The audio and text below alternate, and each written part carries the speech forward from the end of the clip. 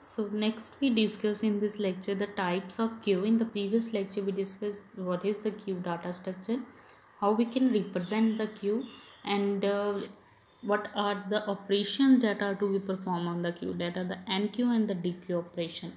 So now we discuss the types of queue.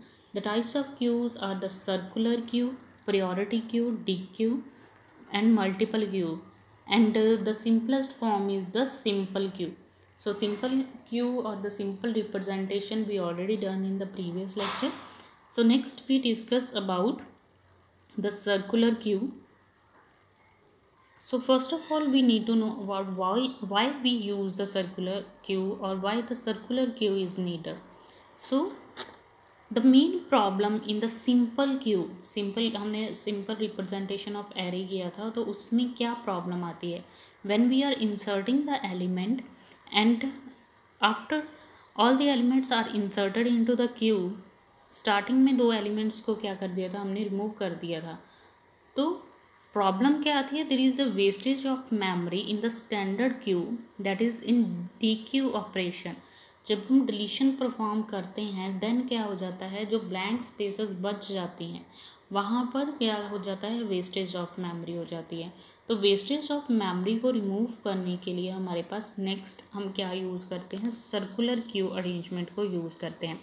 Circular means the number of elements are arranged in a circular form और we can say that the arrangement of the elements queue you zero index से लेके N index तक हम circular fashion में हम इन्हें जोड़ देते हैं। With queue one following queue n that is called the circular queue in which the last node is connected to the first node to make a circle.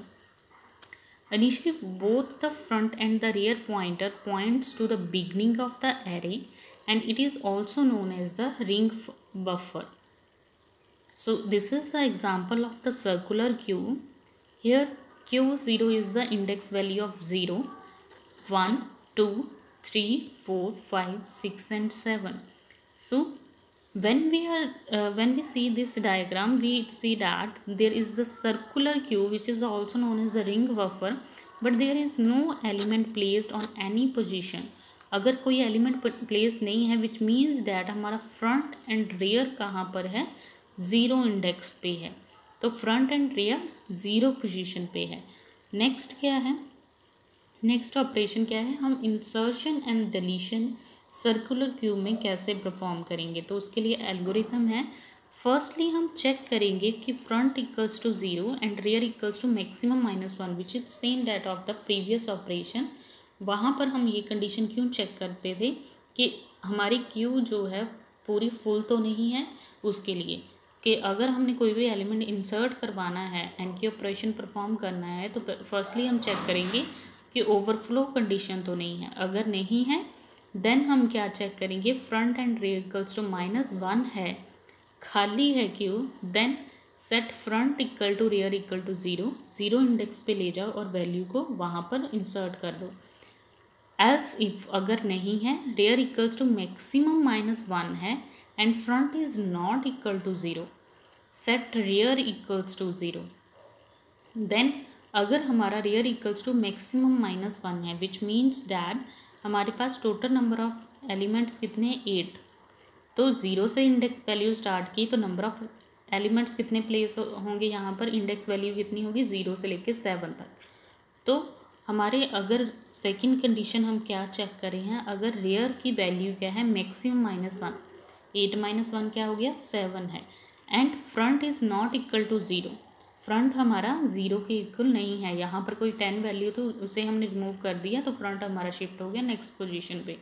अगर ये कंडीशन आती है यहाँ तक एलिमेंट फुल है बट फ़र्स्ट यहाँ पर कोई वैल्यू थी टेन, उसे हमने रिमूव कर दिया है then front is shifted to the next position then उस केस में क्या करना है set rear equal to zero then हमने क्या कर दिया कि रेयर क्या है ज़ीरो के इक्वल कर दो।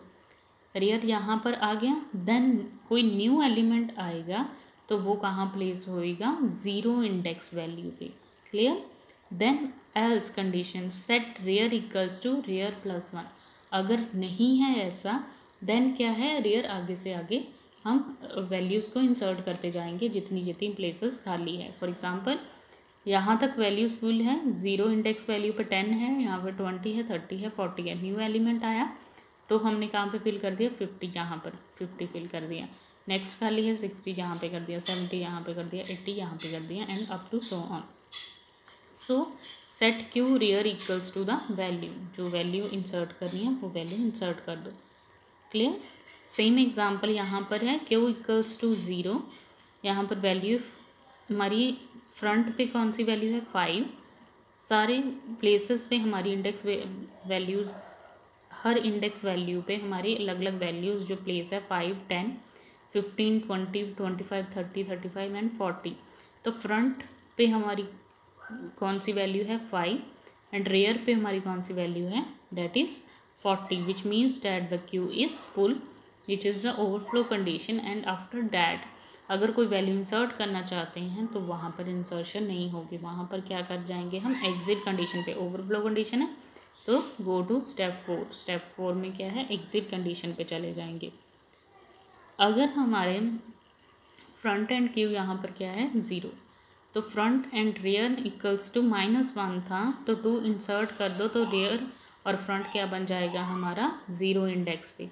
न्यू वैल्यू इंसर्ट होगी तो रेयर हमारा शिफ्ट हो जाएगा आगे। जो पहले करे थे सिंपल क्यू में सेम यहाँ पर है। क्लियर तो यहाँ पर वैल्यूज़ फिल होगी। यहाँ पर हमारा फ्रंट यहाँ पर है और रेयर यहाँ पर है। तो अगर हम न्यू एलिमेंट अगेन फिल करना चाहते हैं वैल्यूज़ यहाँ पर फिल करते करते गए रेयर आगे आगे शिफ्ट होता लास्ट पोजीशन पे पहुँच गया। तो न्यू एलिमेंट जो इंसर्ट करेंगे देन उसे कहाँ पे करेंगे हम? अगर rear equals to maximum minus one है लास्ट पोजीशन पे है front is not equal to zero front यहाँ पर किसी और पोजीशन पे है। तो रेयर को क्या कर दो? देन हमने रेयर को क्या करना है? Rear e becomes zero if the rear is equal to max one minus one front equal is not equal to zero then set rear equals to zero तो नेक्स्ट वैल्यू कहाँ पे store होगी? First position पे. Clear next is अगर five यहाँ पर value है new insert करवानी है तो आगे से आगे रेयर शिफ्ट होता जाएगा इन द प्रीवियसली जो हमने पढ़ा हुआ है।